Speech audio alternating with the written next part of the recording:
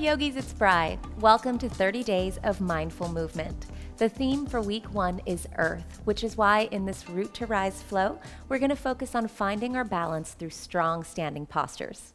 Don't forget to subscribe to Alo Yoga's YouTube channel and comment below. Let's get started. We're going to begin our flow here in Tadasana Mountain Pose. I like to start that first Tadasana with feet hips distance because I feel like when my feet are hips distance, they're a solid foundation for the rest of my body. So taking your feet hips distance, gazing down, make sure the feet are parallel, spread your toes out wide, and then take your gaze forward, your hands by your side. Turn the palms open to broaden across the shoulders and close your eyes because we're focusing on rooting to rise, this is one of the best places to really feel that concept. We're on our feet all day long. Our feet have taken us everywhere so far in our lives.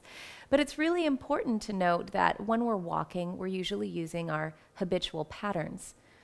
But here in this yoga practice, you get to take a moment to really focus on your feet on the part of our body that's typically being used all day long without a conscious focus. So just begin to feel the soles of your feet. Notice whether there's more weight on the inside edge or the outside edge of the foot. Maybe there's more weight on the back of the foot than the front. And just see if you can begin to balance it out. Equal weight between the heels and the balls of your feet.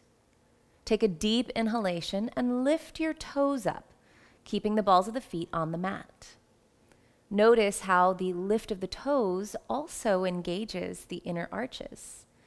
And when the inner arches engage, that lifting, that rising action allows for the muscles above it in the legs, the shins, the quadriceps to begin to engage to hold you up.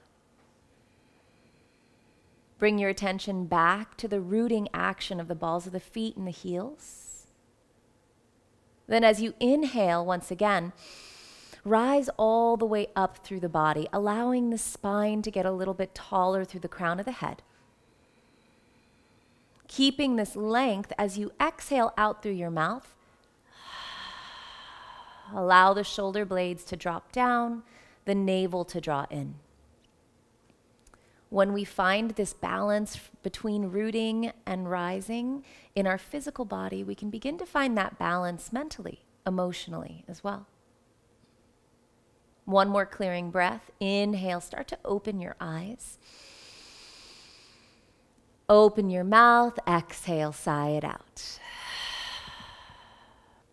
Turning the palms out to the sides. Inhale, sweep the arms out to come up. When the arms are straight up, lengthen the sides of the waist. Exhale through the nose, draw your ribs in and down, and your navel in towards the spine. You're going to grab a hold of your right wrist with your left hand. Then, as you root down through the right heel, inhale, rise up through the right side body and lean over towards the left trying to keep your torso in line with the hips, even though you're leaning to the side. So don't lean back or lean forward. Keep the navel and the ribs drawing in. And again, root firmly through the feet. And inhale, rise and lengthen the right side body. Exhale, lean a little bit more. Keep your right arm where it is. Take your left hand down to the left side body. Leaning just a tad bit more. Roll the right pinky back behind you to find space around the neck. Mm. And then inhale, rising all the way back up. Left hand comes up. Exhale, ribs and navel in. Grab a hold of your left wrist with your right hand, feeling your feet firmly pressing into the mat. Inhale, lengthen the left side body. And exhale, lean over towards the right. Drawing your ribs and navel in once again to support the spine or the muscles around the spine. Now taking your right hand down to the right side body, and you want to feel the feet firmly rooting down as you lengthen the left side body. So if you're tight around maybe even the hip flexors or psoas, possibly the side where the obliques are, or even the lats, you'll feel this wonderful stretch. And then inhale, rising all the way back up, bringing your palms to touch. Lengthen both sides of the waist equally. As you exhale, turn your hands out and sweep your hands behind your back, interlacing your fingers. Press the palms together and resist the urge to straighten your arms all the way. So keep a little bend in the elbows. From here, broaden across the collarbones and inhale, lift the chest up, reaching the knuckles down. Still gazing forward, as you exhale, start to bend your knees, keeping the weight back in your heels and sticking your tush back behind you for a modified chair pose. We're not going to stay here for long, don't worry. Inhale, reach the knuckles down and slightly back. As you exhale, fold your ribs over your thighs, keeping the knees really, really bent here, maybe almost parallel to the ground. Relax your head then reach the knuckles up towards the sky, just a little bit longer in this shoulder stretch. I know it's intense on the front of the shoulders, but that's the point. Then sweep the hands down towards the mat and grab a hold of opposite elbows. Relax your head down. Straighten the legs just halfway. So you were in a seated position almost just then, resting your ribs on your thighs. Just lift your butt up a little bit, keeping a bend in the knees, and just allow for your head to drop freely down from the shoulders. Shake your head out, relax your jaw, and take a couple of ujjayi breath cycles here. Once again, coming back to the idea of rooting and rising. So your feet are on the mat, and naturally, because our brains are programmed to just take the path of least resistance, you lean back, right? Because you're probably avoiding sensation of stretch in the back of the body. So find equal weight between the heels and the balls of the feet once again, which would mean you'd have to lean slightly forward. Then lift your toes up, feeling the inner arches lift. Engage the front of your legs. So the uh, muscles at the front of the shins are engaging because you're lifting your toes. I want you now to lift your kneecaps up so the quadriceps engage. That'll protect your hamstrings as you stretch them. If it's comfortable for you, you can straighten the legs, making sure the quads are engaged.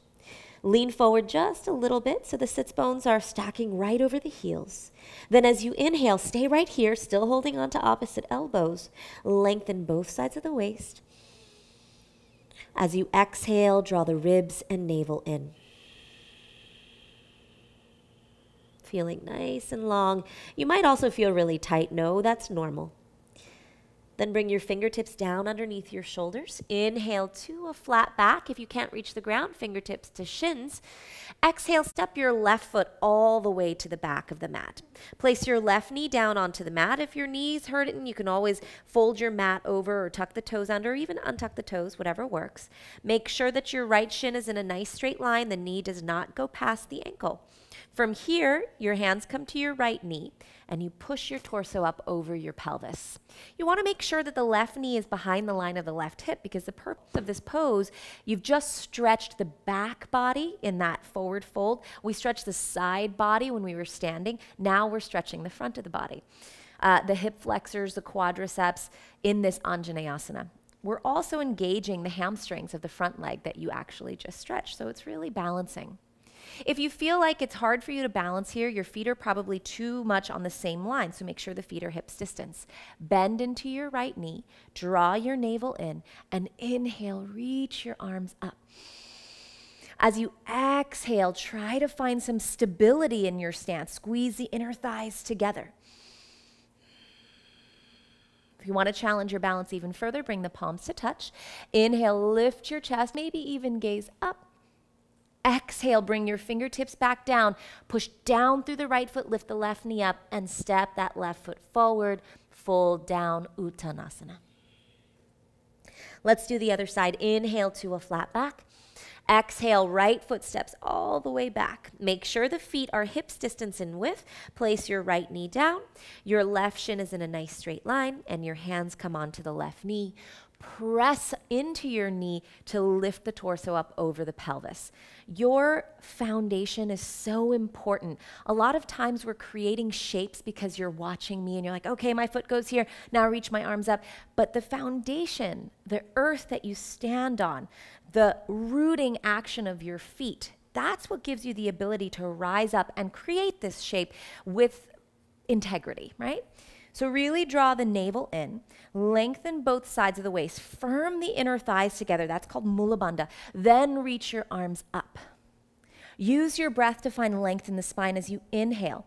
Lift your chest up. Bring the palms to touch. Maybe even gaze up. And then exhale, hands come down, step the right foot forward to the front of the mat. I'm still hips distance with my feet. Exhale, fold it down. Then inhale, rising all the way back up towards standing, bringing the palms to touch. Exhale, hands to your heart center. Great job.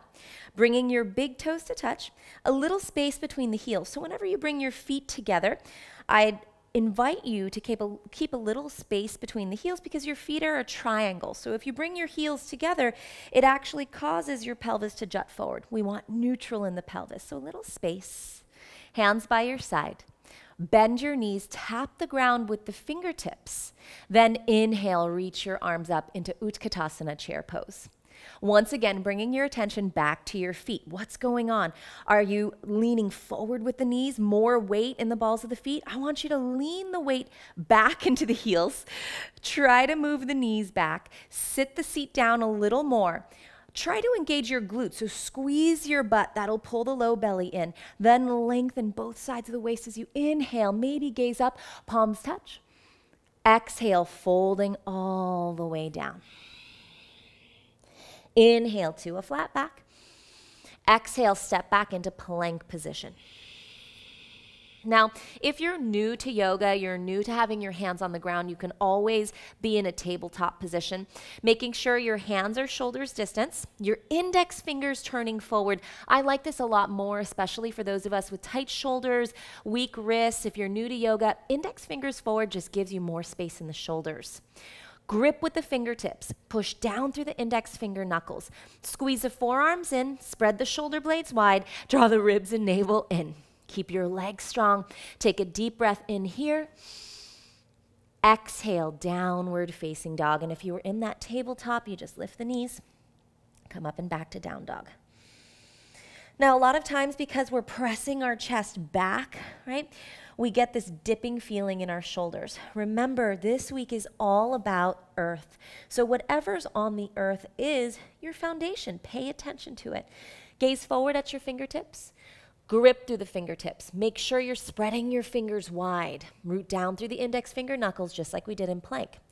Relax your head, but instead of just pushing your chest back, think about your fingertips continuing to grip.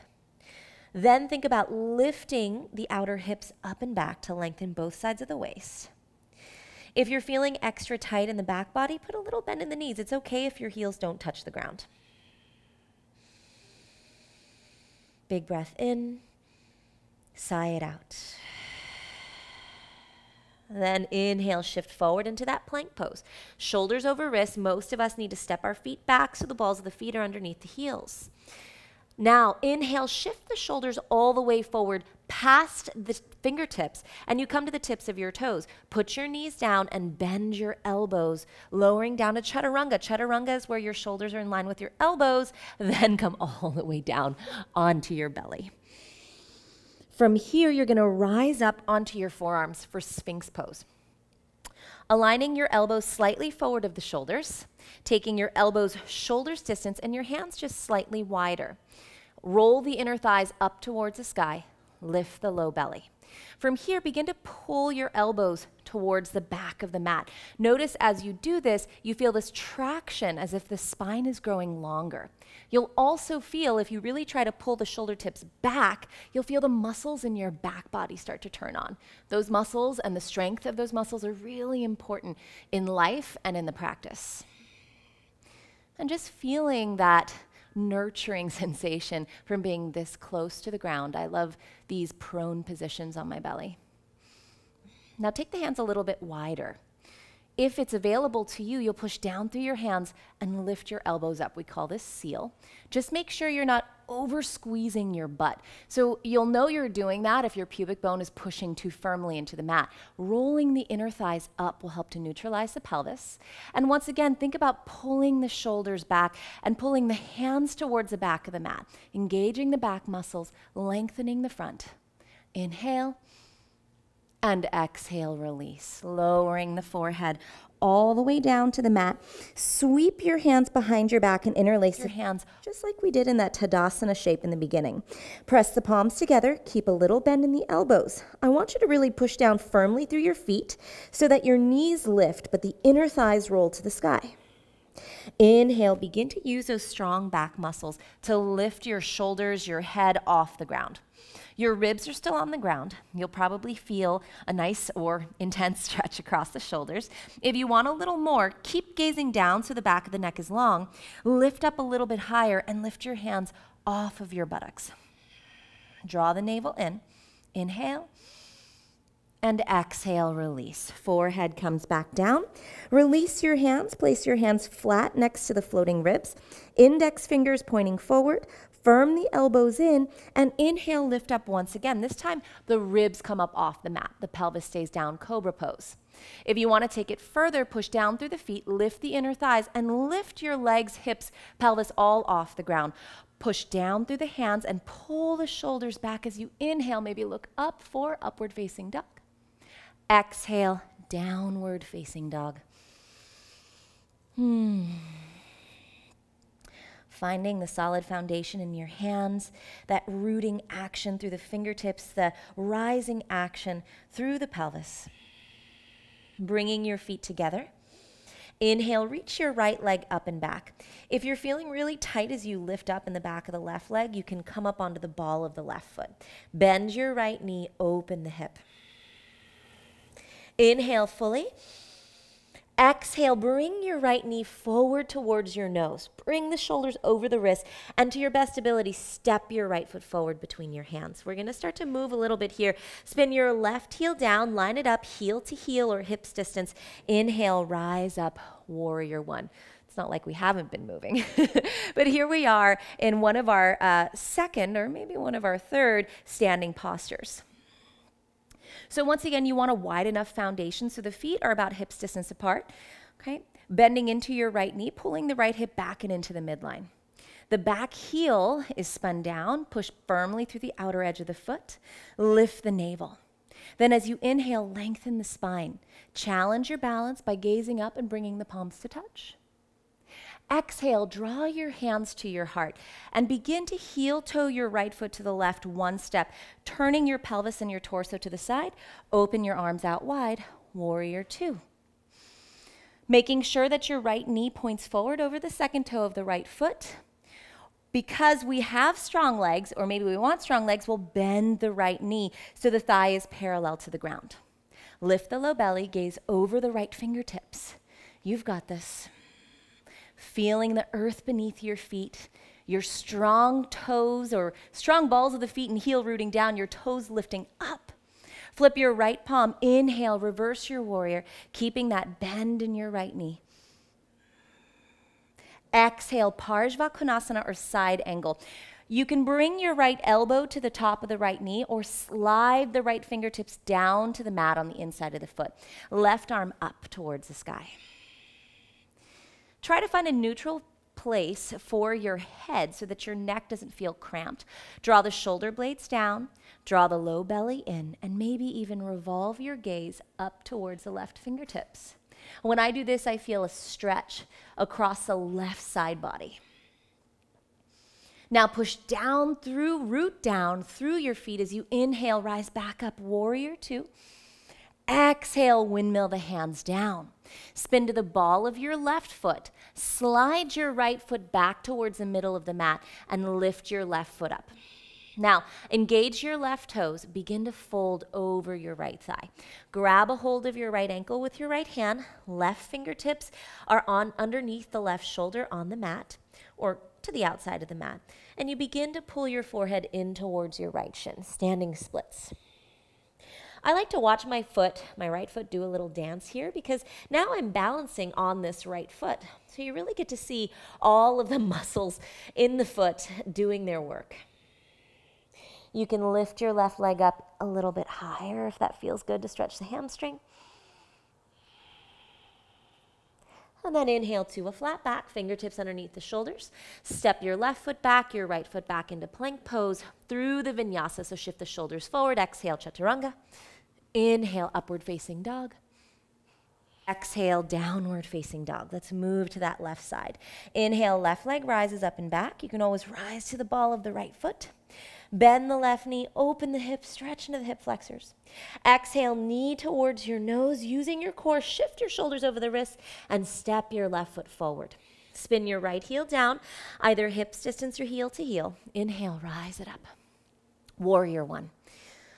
The hips are squared to the front of the mat. Think about pushing firmly through the outer edge of your right foot as you roll your inner right thigh back behind you. Bend into your left knee. As you inhale, lengthen the sides of the waist. Bring the palms to touch. Lift your gaze up. And exhale, draw your hands to your heart. Heel toe your left foot to the right, one step, and open the arms out wide, turning the face with the torso and the pelvis, the side of the mat, but your gaze over your left fingertips.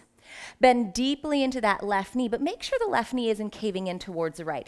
This is just gonna hurt your knee and maybe even your hips. So use the outer left hip, pull it back and into the midline.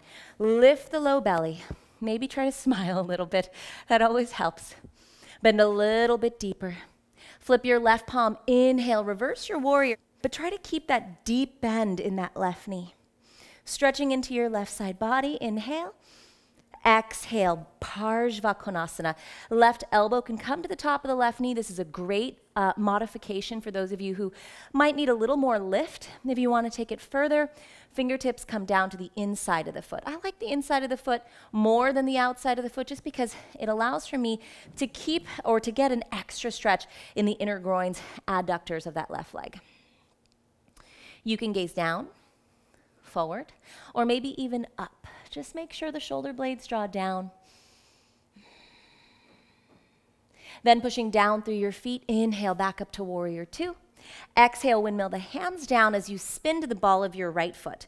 I like to slide my left foot back so I'm not, you know, teetering over the edge of the front of my mat.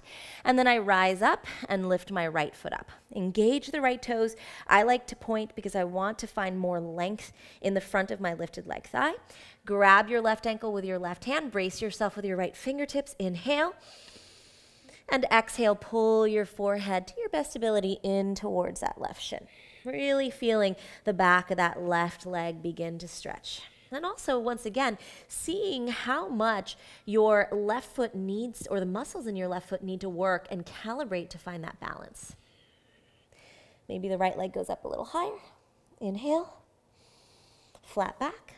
Exhale, step back, vinyasa, plank pose, chaturanga, upward facing dog, and downward facing dog.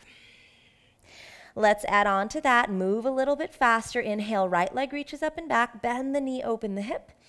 Exhale, knee to nose. Step forward.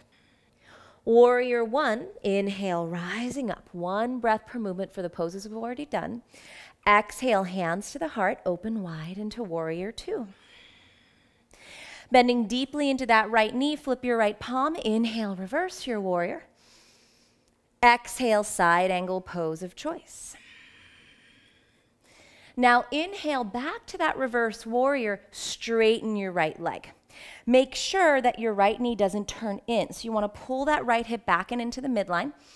Reach the right fingertips up and back first. Then take your right fingertips forward. Lean the right hip back as you press the right shin forward so you're protecting the knee. And bring your right fingertips either to the right shin, left arm up, or the outside of your right shin on the mat triangle pose, Trikonasana. A lot of times when we come into this from warrior two, it's a bit too wide. So if that's what you're experiencing, you can always step your left foot just slightly forward. Draw the shoulder blades down. One long line of energy from the right fingertips up through the left fingertips. Spread the fingers, maybe even gazing up. Draw your ribs down towards the frontal hip points and the navel in. Let's work on our balance a little bit more. Look down towards the mat. Then begin to bend your right knee. Reach your right fingertips forward of your right foot. Make sure the right fingertips are to the outside of the right foot and stand on your right foot into half moon pose. Your chest, your pelvis, and your left toes are all facing the left side of the mat. Even though you're bracing yourself with your right fingertips, draw the shoulder blades down. Don't forget to draw the ribs and navel in. I could say that in every single pose. And if you want a little bit more, you can take your gaze up towards the left fingertips. Remember, falling is just part of learning. So if you fall, come right back. Then gaze down. This one's hard, but you got it. I know our right leg's working really hard. Bring your left fingertips down to the mat. Square your hips. So start to roll the inner left thigh up towards the sky. Your left toes should face down towards the mat, the foot flexed. Draw your outer right hip back and in. Squeeze the inner thighs together. Put a little bend in your right knee. Really engage your core and bring your hands to your heart. Modified Warrior 3. You've got this. If you want a little more extra work, you can straighten your right leg. Pull your left knee into your chest. Woo! Stand tall on your right leg. Grab a hold of your left knee, our final balancing posture on our feet. You're going to take your right hand to your right hip, your left hand around that left ankle. Bring the sole of your left foot to your right inner thigh. Press the thigh and the foot together. Bring your hands to your heart. Maybe arms up tree pose. Inhale and exhale. Left leg goes back, fingertips come down. Hop your right foot back a bit. You can always take it back through the vinyasa if you love handstanding with me. Hands underneath your shoulders, ribs in, gaze between the wrists. Take a few hops off of your right foot. Should feel pretty good to get on your hands if you love handstanding. And then we'll take it back through the vinyasa. Last side, we're almost done downward facing dog. Let's move it right along, feet together. Inhale, left leg rises up and back, bend the knee, open the hip. Exhale, step your left foot forward. Spin the right heel down, warrior one. Inhale, rising up. Maybe gazing up as the palms touch. Exhale, hands to your heart. Open wide into warrior two. Flip your left palm, inhale, reverse your warrior. Exhale, Parsva Konasana of choice. Then pushing down through your feet, inhale, reverse triangle pose, straightening your left leg, making sure the quad's engaged. Exhale, Trikonasana. Left fingertips to the left shin or to the ground on the outside of the left shin. If it's too long, step the back foot forward slightly. Draw the ribs and navel in, of course. Draw the shoulder blades down. Make sure the outer left hip is drawing back and into the midline. I feel this stretch, although quite mild, in uh, the right side body, even somewhat towards the front of the right side body. All right, let's challenge our balance. Gaze down. Bend into your left knee. Send your left fingertips forward of your left foot, but slightly to the outside, and rise up onto that left foot. Ardha Chandrasana. This is where your left foot is definitely going to be dancing around, calibrating, finding that rooting action through all four corners of the foot and that rising action up through the muscles of the front of the leg. Draw the ribs and navel in, take a deep inhalation, maybe even gazing up. This side is so hard for me. And then exhale, right fingertips come down. Remember, we're all human, so if you're struggling at home, know that I am also struggling always throughout the flow. Now roll your inner right thigh up. Engage your right toes. So I like to point my toes um, in Warrior 3. You can flex, you can floint, whatever works for you. Floint is just a flex and a point together.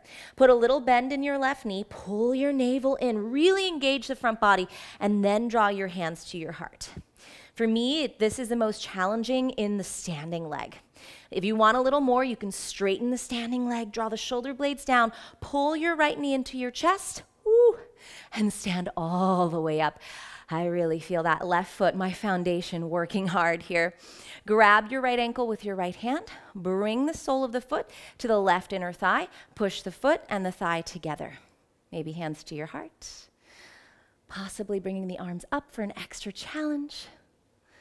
Inhale. Exhale. Hands begin to come down to the ground as you release the right foot up and back. Hop your left foot back a tad. Now, if you're feeling super fatigued, step it back through the vinyasa. If you want to take a handstand hop or two, arms straight, hands underneath the shoulders, Gaze between the wrists, ribs and navel in, navel in, and take a few hops off that left foot. If you need to practice at a wall or not, like I just did, you can always flip over to the side. I find that to be the best way to fall out through the vinyasa. We'll meet in down dog and in child's pose. Great job. Hmm. Just allowing your attention to come back to your breathing. Feeling the effects of your practice. We've moved, we've stretched, we've strengthened. And now here we are back on the earth. Take a deep breath in through your nose. Sigh it out. Bring your fingertips underneath your shoulders. Inhale, sit up onto your butt. Stretch your legs out in front of you and lie down onto your back, pulling your knees into your chest. Keep your right knee in, extend your left leg forward, and just take a twist, right knee to the left. Thinking about pressing the pelvis equally towards your left heel lengthening both sides of the waist, opening across the right shoulder, lifting the navel. And inhale back to center. Left knee in, right leg forward, just take it to the other side.